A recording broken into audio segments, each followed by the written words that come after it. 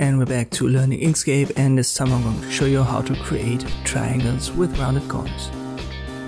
Let us create a triangle first. With the polygon tool make sure you've got three corners selected and I'll control when I drag that. Let us open the fill and stroke on object. You can see we've got this red fill and we've got a very small black stroke. Normally your join is set by default to miter join. Let me increase the width. You can see we've got these sharp edges.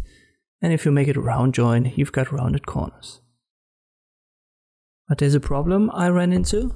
For example, you might want to have a very small stroke.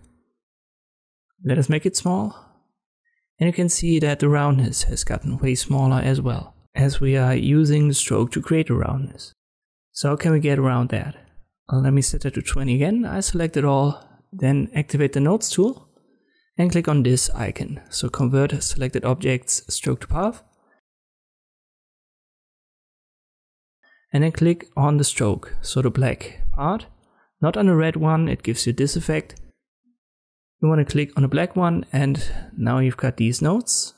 Hold shift and select the inner ones and then press the delete key. And now we only have a fill. So let us go back to fill and stroke. You can see that right here, a black fill. Let me make that red. And we've got no stroke.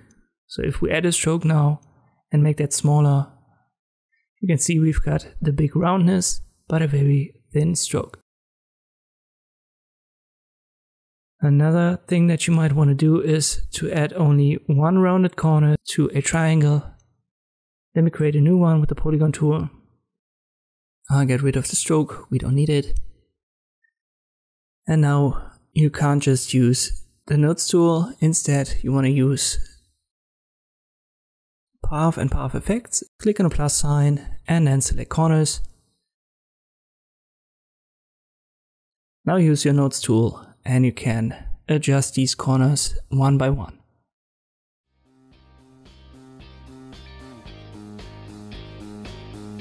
And this I can create triangles with rounded corners in Inkscape. Thank you for watching and I'll see you next time.